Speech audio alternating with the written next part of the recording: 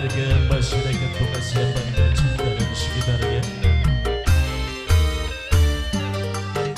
Spesial untuk suatu baik sekeluarga. Untuk tamu selamat bersantap siang di